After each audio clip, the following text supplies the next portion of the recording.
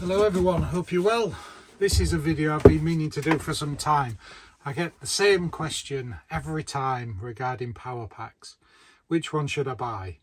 And it's a question I can't answer, but I can put various bits together in this video that will give you the information to choose which is the best one to do what you want to do. And we're going to use this one here. This is the EcoFlow River 2 Pro which is uh, renowned to be the best of its size in its category for a number of different reasons. And there's a separate video about this. I'll put it up here so you can see the full video about it.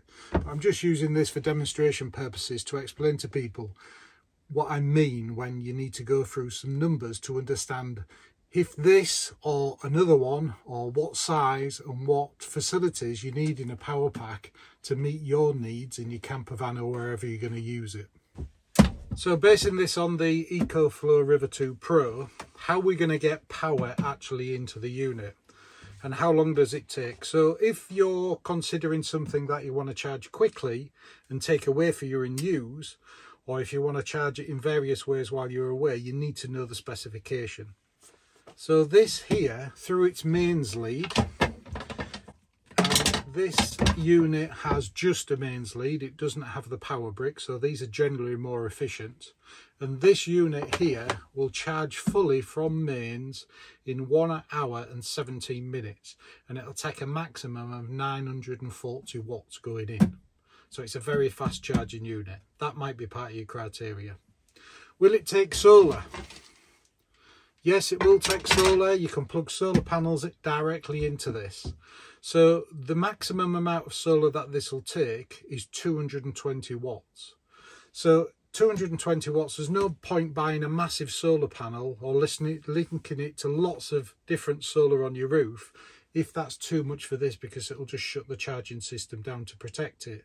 So you need to understand if you're going to run it on solar, what actually you're going to run it against. Is it going to be a portable panel? Is it going to be fixed panels on the roof of your camper van, your boat or whatever it's going to be? But the maximum power this will take is 220 watts. So you need to know that.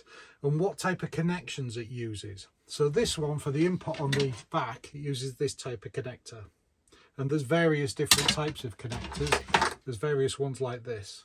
So you need to be looking at what connector you need with this with the EcoFlow, EcoFlow models you just buy a lead that has this type of connector on. And the majority of solar panels have these type of male and female connectors on. And these are polarity conscious and you can only plug them in one way which is nice and easy. But when you plug solar panels into one of these this actually has something inside called an MPPT. And basically what that means is solar, if you can imagine solar, the amount of power that's coming in is going to vary. It might be a real sunny day and then all of a sudden the clouds come over and you lose power and then it comes back up again. So it's not a constant steady flow of power. And the MPPT manages that flow, flow of power to maximize the input into this but not to damage it. So this has a built-in unit for that. So you can plug solar panels into this up to 220 watts. And you look at the voltage, how much voltage it will take as well. So the specification of any unit should tell you what wattage it needs and what voltage it is on um, solar in particular. Likewise, this lead here comes with the River 2 Pro and this is charge it from a cigarette socket. And this plugs in at the back. There's a socket at the back there and you just simply plug that orange connector in and plug that into your cigarette lighter. And this will take a maximum of 100 watts input into this. And this actually comes with it. So if your intentions are to use this when you're out and about and to charge it from your car your camper van or even your boat you know you're going to get the lead with this unit and you can just plug it straight in. So that's covering the charging actually get the charge into this solar, car charging and your mains charging side of things. So we know how much power can go into this and how the power can go in. There's also a USB-C which you can charge it with as well. So there's another input there that can charge it. Um, but they're the main ones, the main three. Now, we talk, or you hear lots of people talking about lithium phosphate and lithium ion batteries. And the, the recycling charges or sequences, how many you can actually do. So this again, being one of the top products, has a lithium phosphate battery.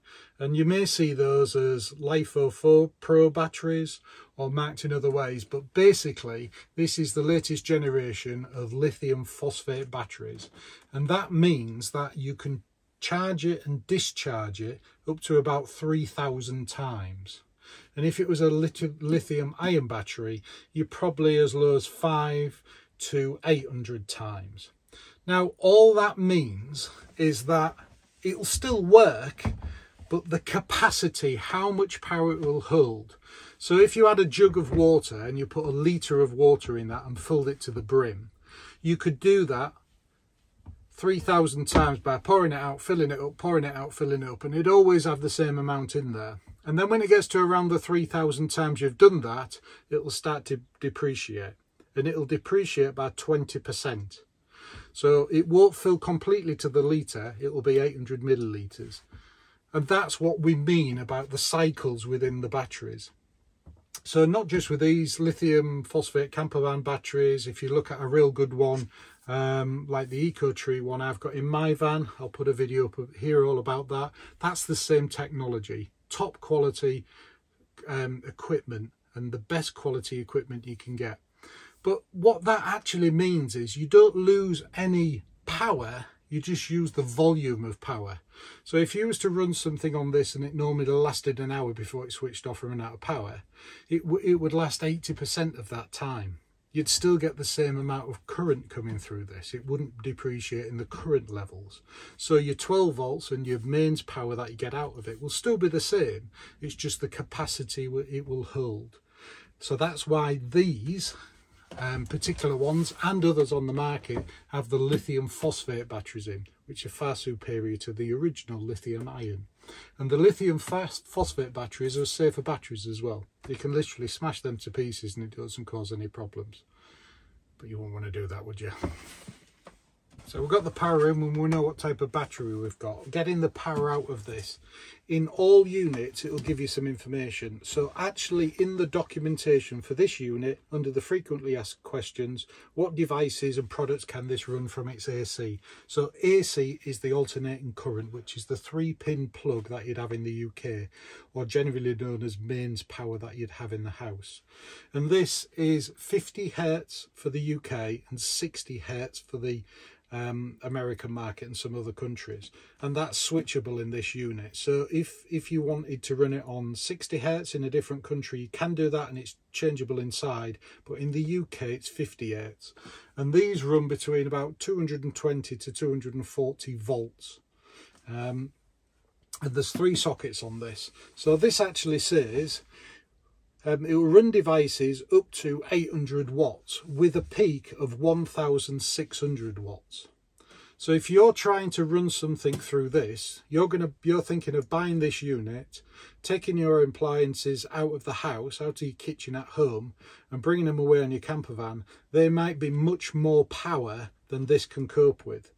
So if you've got a kettle in your house, it might run at 2,500 watts. This wouldn't run it because it's over its capacity. So you need to be really careful and understand exactly what you're going to run through your mains power of this and what the appliances are. And on each appliance, certainly in the UK, there will be a sticker on that and it'll tell you how much wattage it needs. So you want to buy the lowest wattage possible to actually run on your device. Even if you get a real big unit, you still don't want to waste the power. So if you're buying an air fryer, our air fryer runs at about 850 watts. This will actually run it because it'll deal through the peak um, uh, element of it as well. So this is capable of running that. Our kettle is about 600 watts, 650 watts, and our toaster is about 700 watts. So all the products we've got in our camper van are low wattage, specifically to use on our power packs. Not just this ones, but other ones as well. So having a handy, easy, this is 17 kilograms, it's not too big, it's not too bulky, but you need to understand if the capacity will actually run what you're running on it or you want to run on it. So hair dryers, air straighteners, all those questions you always get. Will it run this? Will it run that? And I say, well, you need to have a look at the wattage and you need to have a look at the power pack you're thinking of buying and make sure that there's enough capacity within that. So if this has a capacity, say, of a thousand watts, and you plug something into it, a thousand watts, this will run for one hour, one kilowatt hour. If you have something of 500 watts, it'll run for twice as long. And that's how to do the numbers. Think of what else you're going to run from it as well. Lots of people say, I need a power pack with mains, mains sockets on it so I can run my computer or my laptop. Well, I use Apple products and Apple produce these, which is a 12 volt regulated supply, which will actually run from the 12 volt socket on the actual unit. And this saves power because you within here, as well as taking the power out to run the actual unit, you'll actually use some power to run the inverter inside. And what the inverter does, it takes the 12 volt power inside of this from the batteries and it puts it through some, uh, some electrical equipment bridge rectifiers and capacitors to transpose it into a safe voltage for using with electrical equipment to come out of here. But that absorbs some power as well. So the inverter will use some power and this will use some power. But if you use this direct from the 12 volt socket instead of the standard charging unit you have for your laptop, this will use a lot less power. And you can try that. You can plug a laptop in on a mains adapter and you can then plug one of these in and you'll see it's significantly different amount of power you use when you're using the 12 volt side of stuff. So have a think of what you actually want to run and what's the simplest and the most efficient way of what you're going to run from it as well. Something else to consider is the physical shape and size of a unit. As you can see this, this is nice and square. All the outputs are on the front, so they're easy accessible, and it's only the inputs that are on the back. And although it's got a handle, the handle's out the way, so it's nice and easy to fit in a cupboard. You do need to ensure that the vents are clear on the side to allow the fans to run to keep it cool. But the physical size of these, you need to consider where you're going to put it. If you haven't got a lot of room in your camper van, or you're in a micro camper or you're car camping, think of the physical shape and size and where you're actually going to use it. Because you may buy one that has leads out the side, leads out the other side, and it's totally awkward to actually store it somewhere and it takes up far too much space. But this is really well thought through on this one. Another good idea when you're using one of these is to think about through charging. So if I plug this into my camper van with this cigarette socket here into the back and into my camper van, this will be taking power out my van when I'm driving along and putting power into this. But if I want to charge my e-bike battery and I use the main socket on this to do it, if I do that when I'm actually driving, I'm actually putting some power back into this as well as taking power out through charging, which means I'm not draining too much of the power out the battery. I'm actually compensating for the power that's actually coming out the battery with putting this in from my car. Or likewise, you could do that with solar. Another thing to consider, and uh, EcoFlow do well in this as, as some of the other big brands do, is how long's the warranty? So you spend all this money on a product, something like this or something even bigger. You want to know that warranty is worthwhile and how long it's going to last. So we know cycle wise, this should last for 10 years. If you charge it and decharge it 3,000 times, you're at 80%. So it should at least last 10 years in relation to that. I would imagine you'll get far more out of that, even if the capacity starts to drop. But it comes with a five year warranty. There's lots out there that only come with a one or a two year warranty. So these actually come with a five year warranty. So that's something else to consider. And considering that in the price of what I'm actually paying for, there's some peace of mind in knowing that you're getting a longer warranty of a piece of kit. And that might cost you more, but uh, the peace of mind so you don't have to replace it may pay off in the future. But to be fair, I've had lots of eco products and um, EcoFlow products and I've not had a problem with any of them. They've all been fantastic. Another thing to consider is you might buy this, the uh, EcoFlow River 2 Pro, and you might think that's perfect. It does everything I want it to do. There's enough power in there. It's fast charging. I can run it on solar. I can charge it from my van when I'm driving along. That's all I need. But consider in the future. In the future, you may decide you want more electrical products. And this might not be able to cope with that. Now this one doesn't have an expandable battery port. some of the other EcoFlow and some of the other manufacturers do. So you might want to consider, particularly if money's tight, you buy a unit that you can expand on later on. So some of them have a socket on the back and you can buy a secondary battery that you plug into them. There's lots of uh, examples on EcoFlow's website. But the the advantage of that is you could buy a unit, as I say, this one doesn't do it, but a bigger unit than this, and use it, it might meet all your needs, and then later on you might decide, oh, I need a bit more power, I need a bit more capacity power. You can buy a plug-in battery, and that would expand the capacity. It won't necessarily change the actual power output. So if it's a 1000 watt unit or a 2000 watt unit, it will still only run things at 2000 watts but it may give you 4,000 watts, um, 4 kilowatts of power to actually run through that inverter. And when you buy the expansion batteries, they're slightly cheaper because you're not buying all the gubbins that goes in this.